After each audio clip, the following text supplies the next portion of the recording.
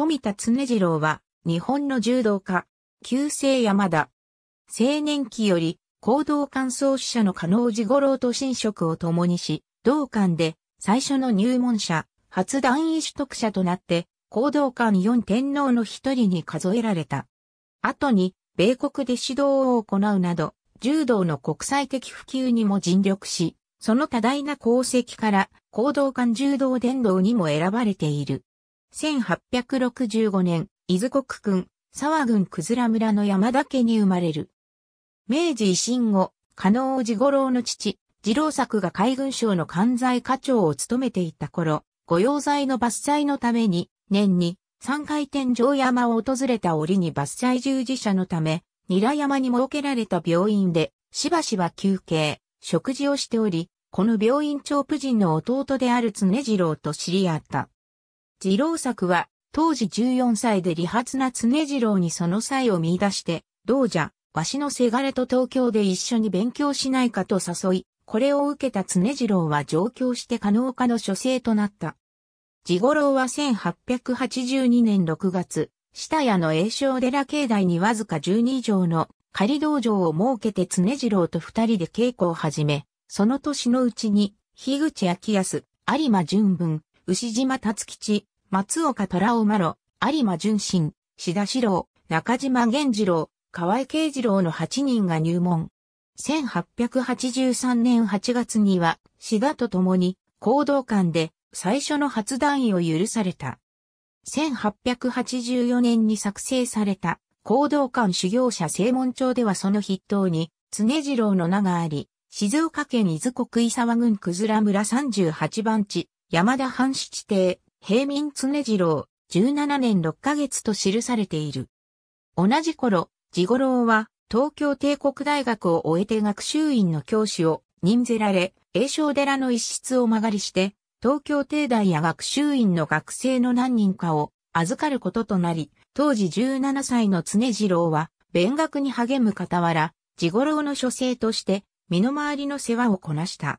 その後、常次郎は、伊豆の海鮮問屋であった富田家の養子となり、以後は、富田姓を名乗った。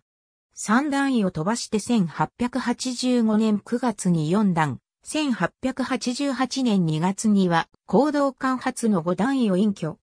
一方、1887年より、京里の伊豆学校で柔道指導を行って、行動館ニ山分譲を築き、その後1891年3月から1904年11月までの長きにわたり、学習院にて柔道教師を務めた。1891年4月、学習院を明治天皇が訪問した際に、富田は明治天皇と共に教え子たちを観覧する光栄によくしている。柔術各派との対決時代、富田は同じく行動官の皇帝であった、西郷四郎、山下義明、横山作次郎と共に、行動官四天皇と称され、西郷の追放後は、加納塾の社官に、また、巴投げを得意として大日本武徳会が主催する武徳祭大会にも出場していた。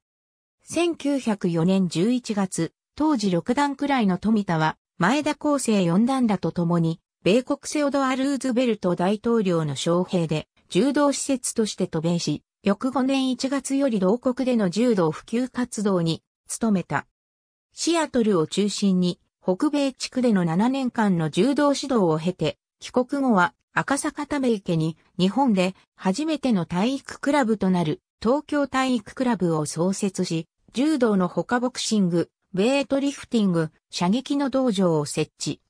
同クラブは長岡修一を柔道師範に迎えて指導の普及、振興に貢献したが、1923年の関東大震災で消失し、その後再建されることはなかった。この間、1905年に大日本武徳会の柔道教師号を、1927年には行動館より7段くらいと大日本武徳会より柔道藩士号をそれぞれ排除している。晩年は東京市麹島地区の長田町に今日構え更新の指導に当たったが、1937年1月に病気のため死去した。去年72。富田の骨は現在も東京都下屋の新行寺に眠る。かつて東京体育クラブで柔道指導の助手を務め戦後に行動館道場幹事長となった小安正夫は柔道の技量では西郷、山下、横山に一歩も二歩も譲ったが人格指揮権とも優れ、可能師範の後半慮として古行道館柔道の発展に最も寄与したのが富田先生、行動館四天皇といっても本当の子飼いは富田先生ただ一人で柔道家タイプというよりむしろ学者肌の人で柔道も一流に達したが頭もよく勉強されたそうでと述べていた。なお、小説、姿、三四郎の作者として有名な富田恒夫は次男にあたる。ありがとうございます。